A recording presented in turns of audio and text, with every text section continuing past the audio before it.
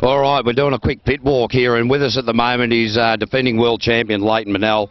Mate, uh, you went out in qualifying too. It looked a little bit ticklish. I thought you were taking it a bit easy, but you posted a reasonable time. What have you got coming for the rest of the afternoon? Oh, we're just uh, just slowly putting the pedal down, mate. Um, end of the day, it's a long day for the 500s here, and uh, it's a big track. You're, you're, flat out, so I sort of thought, well, hey, we'll do a couple of easy ones in the running, let everyone get away, and, and and do what we used to do, and just peg our way back slowly.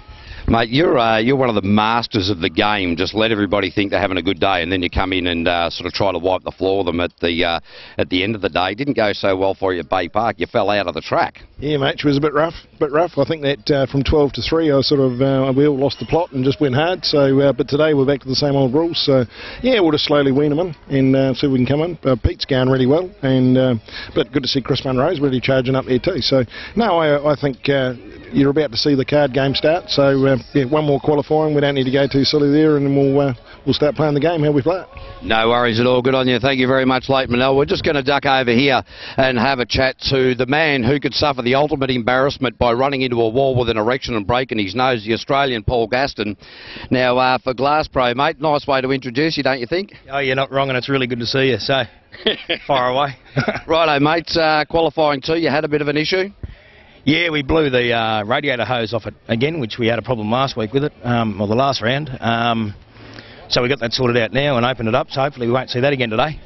Yeah, no worries, mate. A little bit of a concern. I bet the uh, old heart was beating because at the moment you've uh, got third in the first two rounds. You're third in New Zealand. You hate the number three. Yeah, well, I was pretty appreciative of it last time, but I don't really want another. If I've got to take it, I'll take it. But we're going for one more. No worries. Good luck, guys. I want to have a chat to your mechanic, Brian.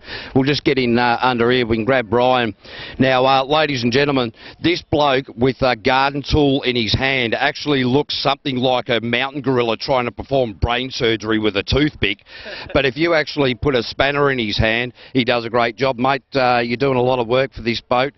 Now, you set up a lot of engines. What's the difference between setting up a jet sprint engine um, in, in comparison to what you do with a sprint car or the other form of motorsports that you send up? Yeah, you're just trying to get the most torque out of these motors and not worrying so much about horsepower. Apart from Meremere here, we do need a little bit more horsepower being such a longer track. So how do you set that up for torque? No, just by the cam and how the head's supported. Yeah, that's the main thing really. Yep. No worries, mate. Well, we will let you get back to swinging spanners and stay away from that brain surgery with toothpicks. We'll go and find some more people in a minute. Just bear with us.